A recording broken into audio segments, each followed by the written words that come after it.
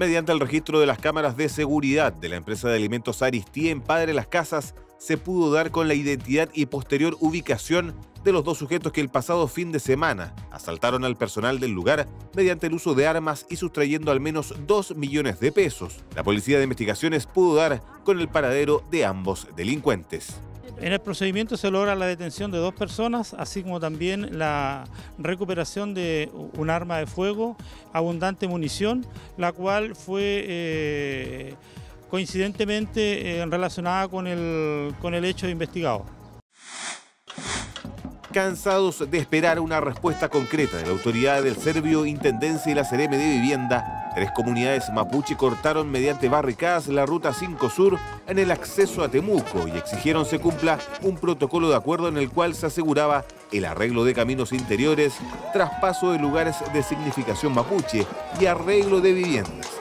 Todo esto producto de las obras de construcción del tercer puente entre Temuco y Padre Las Casas, y donde las comunidades se encuentran aledañas a estas obras. Porque el serbio está desconociendo los acuerdos tomados en el protocolo de acuerdos firmantes por toda la autoridad, empezando por el intendente.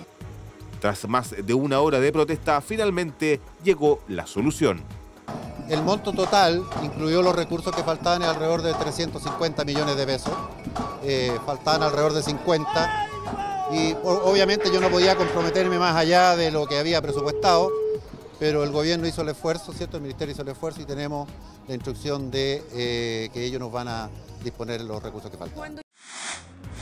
La Brigada de Delitos Económicos de Temuco de la Policía de Investigaciones detuvo esta jornada a dos hombres acusados de haber clonado tarjetas de débito de combustible de diversas instituciones públicas, como CONAF y la Intendencia, así como también de empresas privadas de la Araucanía.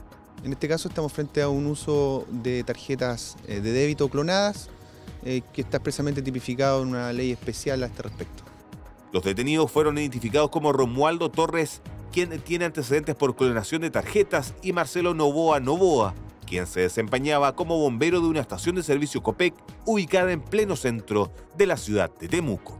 Uno de los detenidos tenía antecedentes anteriores, es un delincuente avesado ya con conexiones internacionales. De hecho, eh, entre el 2010 y el 2013 uno de los detenidos estuvo en el extranjero eh, perfeccionando en el fondo su modo de operar y de, hecho de allá trajo los dispositivos que está utilizando acá en, en la región.